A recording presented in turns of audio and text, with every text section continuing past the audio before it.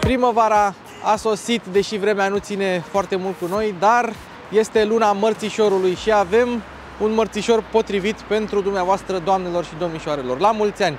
De la Țiriac Auto am luat acest Range Rover Evoque 2024, nou nouț într-o culoare absolut minunată și mergem să vedem dacă este o alegere potrivită pentru dumneavoastră. Știți de ce Range Rover Evoque este o mașină ideală atât pentru drumuri lungi cât și pentru oraș? pentru că are dimensiuni compacte, dar este un Range Rover, un model premium construit solid și bine antifonat. Noi avem o versiune Dynamic SE aici, care are un motor pe benzină de 2 litri mild hybrid, atenție, mild hybrid, impozit mic, cu 200 de cai putere și tracțiune integrală. Avem o culoare superbă Corinthian Bronze, jante din aliaj de 20 de inci vopsite în culoarea neagră și niște faruri full LED subțiri. Noul Range Rover Evoque facelift aduce un plus de dinamism și un plus de eleganță stilului care l-a consacrat deja. Pasaje, roți foarte mari, pentru că este un model cu înclinații off-road, este un model foarte capabil și credeți-mă, în oraș, în gropi, guri de canalizare, uh, linii de tramvai, nu simți absolut nimic. Avem aceste mânere care ies din caroserie și au rol aerodinamic. Mașina este echipată cu sistemul de camere 360 de grade în spate, cu toate că avem dimensiuni compacte, deschiderea este mai mult decât suficientă. Iar în spate, stopurile subțiri accentuează eleganța acestui model. Mai avem și un pseudodifuzor mult negru, uh, lucios, contrastant, inclusiv la plafon și o cameră de marșarier cu spălător. Atunci când ești în off-road sau atunci când este mașina murdară, poți avea vizibilitate bună pe camera de marșarier. Indiferent de ce motorizare ai alege, ai un rezervor încăpător de 67 de litri ca să nu treci prea des pe la Peco și apropo de litri, avem un volum de 472 de litri pentru portbagaj, care este un volum bun pentru această clasă cu roată de rezervă de dimensiuni reduse, plus priză de 12 V și banchetă rabatabilă, plus cârlige de care să te folosești atunci când ai plase, cumpărături și nu vrei să se miște prin interiorul mașinii. Evoque este și un model practic, avem buzunare surprinzător de adânci în fața de ușă, plus memoriile la scaune și butoanele pentru oglinzi și geamuri. Surpriza cea mai mare este că la această echipare avem sistemul de sonorizare uh, Meridian cu 12 difuzoare, inclusiv subwoofer și 400 de W putere în standard.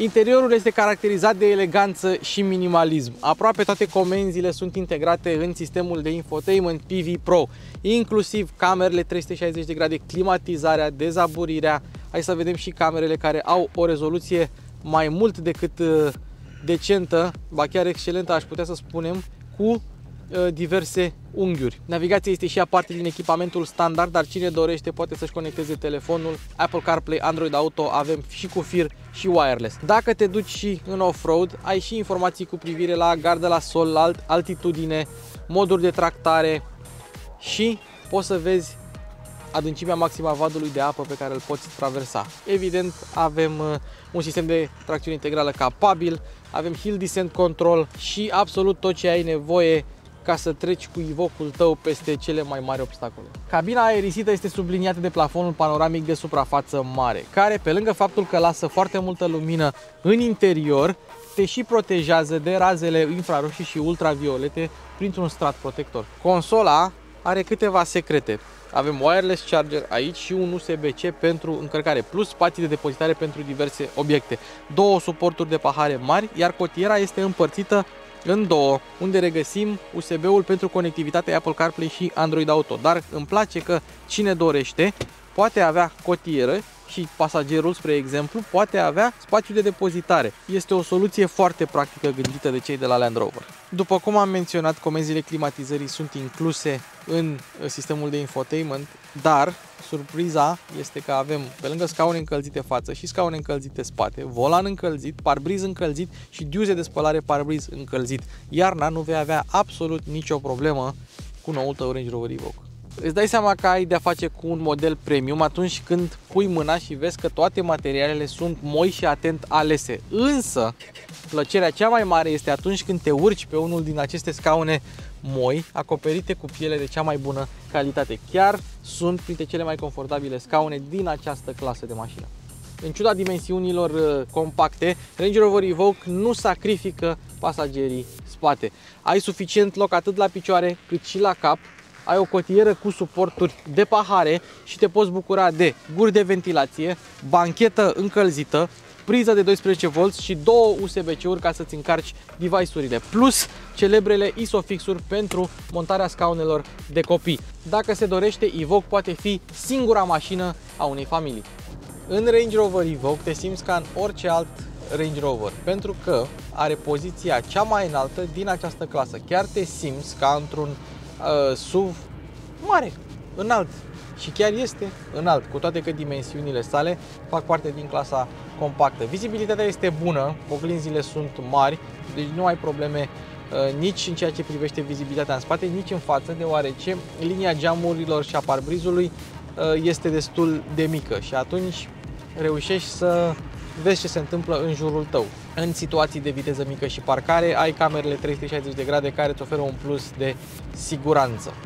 Și apropo de spații strâmte și de parcare, diametrul de bracaj al mașinii este foarte bun, virează foarte bine în parcări subterane sau în uh, situații de manevre foarte, foarte strâmte, Evoque se descurcă surprinzător de bine, se descurcă memorabil. Am fost într-o parcare subterană și nu a trebuit să fac mai multe manevre sau să fiu atent de mai multe ori ca să nu ating. Ivocul întoarce foarte bine și se manevrează destul de ușor. Direcția este rapidă și precisă, atipic pentru un SUV din această categorie. Suspensia este confortabilă și chiar dacă avem jante de 20 de inch, zgomotul la rulare nu se simte foarte pronunțat în habitaclu. Motorizarea mild hybrid este suficient de puternică pentru orice șofer normal, 200 de cai putere, 320 Nm cuplu motor, 100 de km la oră îi prinzi în 8,6 secunde și 216 este viteza maximă. Consumul pe care noi l-am uh, realizat în București este în jurul valorii de 10 litri la 100 de km, iar la drum lung se poate așeza consumul la 7-8 litri la 100 de km.